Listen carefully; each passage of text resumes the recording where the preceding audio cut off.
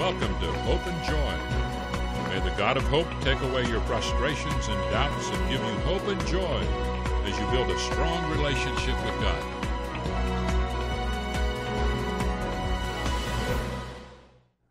I am Dr. Jim Dykes, your biblical counselor.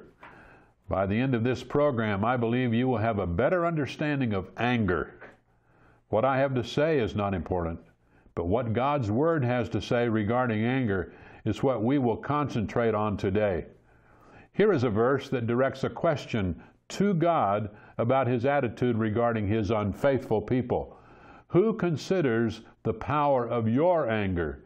Psalm 90, verse 11. The fear of the Lord is the beginning of wisdom. Proverbs 1 7.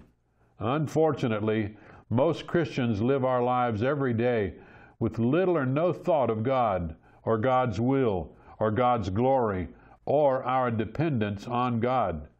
God is essentially irrelevant in many Christian lives. We seldom think of our dependence on God or our responsibility to Him. Thus, anger, hot temper, lack of self control can easily become a trio of meddlesome, wretched residents of our sinful nature. And herein lies part of its power. Sin is never completely quiet in a believer's life. Anger is extremely difficult to discipline. James chapter 1 verses 19 and 20 says, Know this, let every person be quick to hear, slow to speak, slow to anger, for the anger of man does not produce the righteousness of God. In fact, such anger is just the opposite of the patience God wants to produce in our lives as we mature in Christ.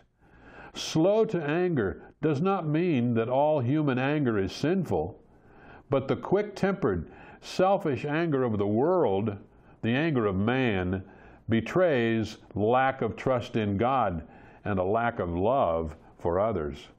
These verses speak of anger that erupts when our egos are bruised. Such selfish anger never helps anybody. Why do we struggle with anger? Why does anger seem so dominant in our lives? Psalm 4 4 clearly says, Be angry and do not sin. Apparently, not all anger is sinful. In Psalm 7, verse 11, God is angry with the wicked. In 1 Kings chapter 11, verse 9, God was angry with Solomon. And in Mark chapter 3, verse 5, Jesus was angry with the Pharisees. While there is a holy anger against sin, we must be careful not to be guilty of unholy anger. In Matthew chapter 5, verses 21 and 22, Jesus talks about an unholy anger. And Ephesians 4:27 tells us that if we are not careful, our anger opens an opportunity to the devil. Our anger can smolder and then burst forth and destroy even a work of God. Someone rightly said that anger is momentary insanity. One person said that they explode in anger and then it's all over with. A friend then replied by saying, Yes, just like a shotgun, but look at the damage that is left behind. Aristotle rightly observed that anyone can become angry, but to be angry with the right person, to the right degree, at the right time, for the right purpose, and in the right way, this is not easy. Solomon had a good solution. A soft answer turns away wrath. But a harsh word, that is a word that is hurtful, stirs up anger. Proverbs 15:1. Anger is destructive to a relationship, no matter what its form. When anger is expressed, the person on the receiving end of the attack feels brutalized, whether or not there has been any physical violence. Our old brain does not distinguish between choices of weapons. Furthermore, because of the strange workings of the unconscious, the person who unleashes the anger feels equally assaulted because, on a deep level, the old brain perceives all actions as inner directed. It would be tough to find another emotion that has caused married couples more difficulty than anger. Why do we get angry at the person we love the most? Why do we allow ourselves to get angry when we know in advance that we will need to apologize? Why do we raise our voice when it does no good? But what about God? One thing to remember is that God's anger is directed towards sin in an expression of His holy love. The anger of God is revealed from heaven against all ungodliness and unrighteousness of men who by their unrighteousness suppress the truth. Romans 1:18. God's anger is not selfish or arbitrary. It represents his holy and loving response to human wickedness. One of God's marvelous attributes is his anger. Because he is infinitely just and infinitely perfect in love, God must respond against human actions that inflict injustice upon people. When we keep believers or unbelievers from knowing and experiencing the God of the Bible, in a real sense, we, through our anger and our desire to avenge, we are causing the glory due to Him from being understood. This should never be the case with believers. On the contrary, the correcting anger of God carries His blessing with it and is a strong evidence of love, as Scripture teaches.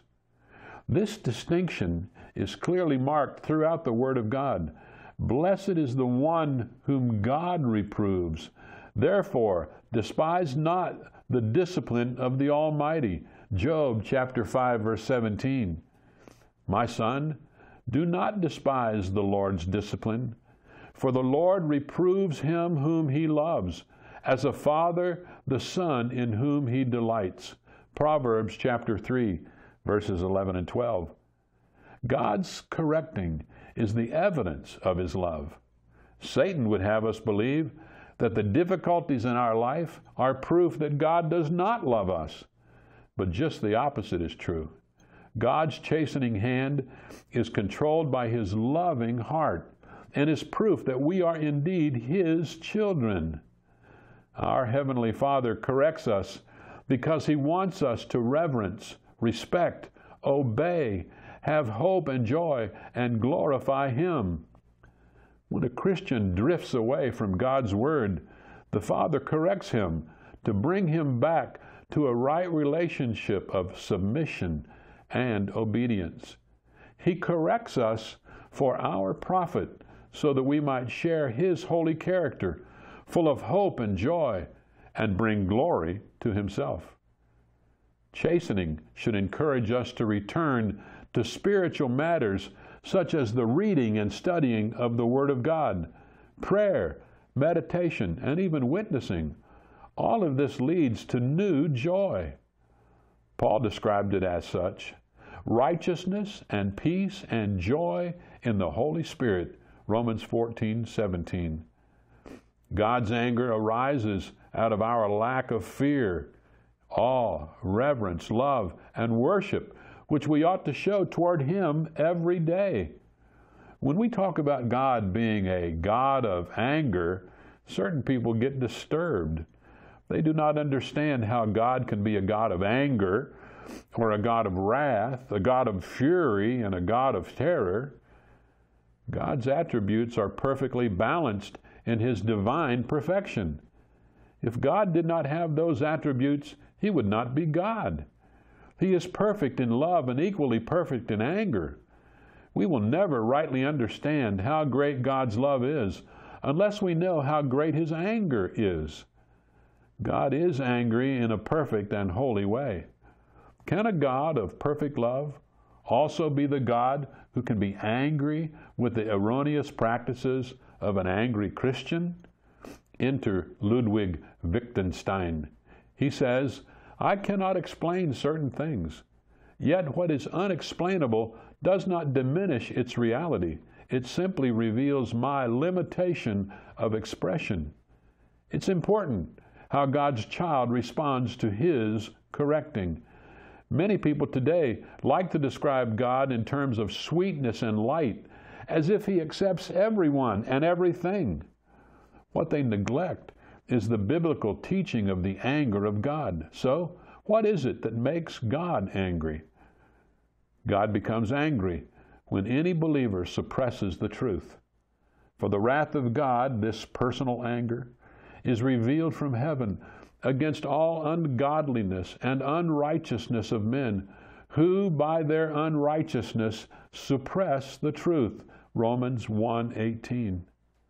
And God also becomes angry when his evident truths are ignored. For his invisible attributes, namely his eternal power and divine nature, have been clearly perceived ever since the creation of the world. There is sufficient evidence of his existence and character in all of these things. The, all of these things that he has made the beauty, the complexity, the design, the usefulness so they are without excuse. Romans 1:20.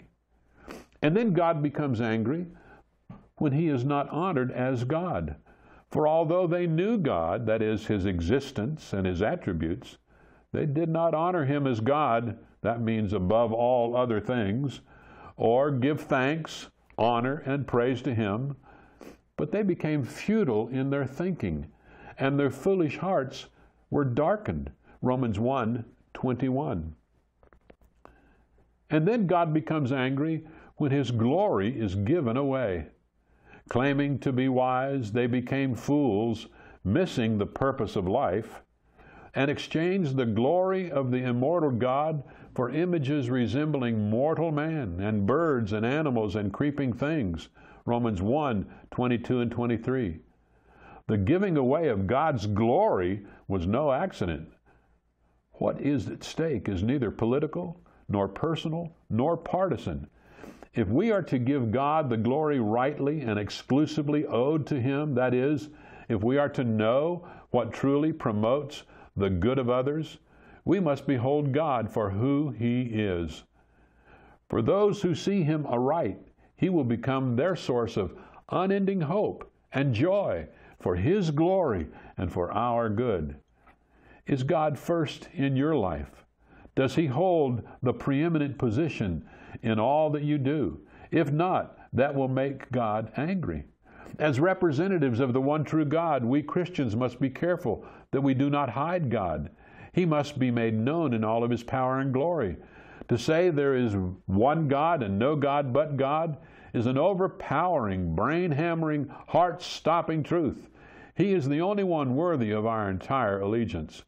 God is angry when we do not help others to see the goodness of God, the one who loves them unconditionally, who gives forgiveness, restores right thinking, provides stability, and promises eternal life. Instead of seeing our sinful anger, is an excellent reason God will be angry with any Christian. Satan will have you and me to think and act contrary to God's clear teaching in His Word, and then give vent to our anger, acting disobediently to God's will. What is the solution to the sin problem? God must do for us what we cannot do for ourselves. We must allow the risen Christ to bring the medicine of his cross and resurrection to our deepest inner parts and give us life. We are not just bad people needing to be good, or good people needing to be better, or ignorant people needing to be smarter, or weak people needing to be stronger. Some are dead people needing new life. And if that's so, then I urge you to receive Jesus Christ as your personal Savior. Reach out and take it and thank Him for His gift. Read John chapter 1, where you will find that Jesus Christ loved and died for you. Thank you. If you have an issue you would like to discuss with me, send an email to Dr. Jim Dykes at jim at bcoga.com.